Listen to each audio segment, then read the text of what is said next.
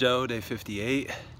Um, so 3.1 this morning and I did okay until um, my gut started telling me that I hadn't gone to the bathroom yet and I had to cut the run short. I mean I still finished 3.1 because I was too far from home to stop but um, I almost didn't make it back for the potty which was kind of dangerous.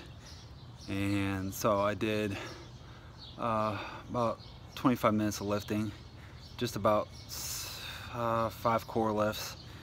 And then I'm gonna jump in the hot tub real quick if I have a chance.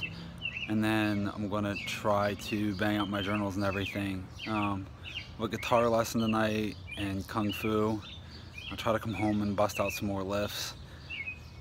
And um,